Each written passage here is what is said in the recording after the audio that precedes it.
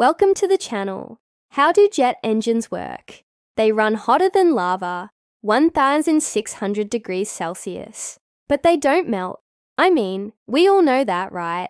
But have you ever thought about how they manage to do that without melting down after 15 hours of flight? Well, it's all thanks to some serious engineering genius. First off, jet engines are made from super alloys that can withstand those high temperatures.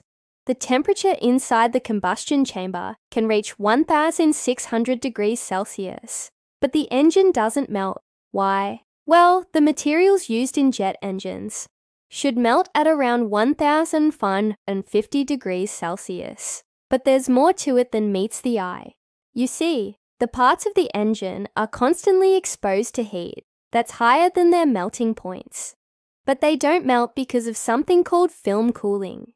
Basically, the engine blows cool air over the hot parts to keep them from melting.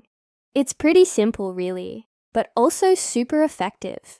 Plus, modern engines have things like ceramic matrix composites and open rotor designs that make them even more efficient and reliable.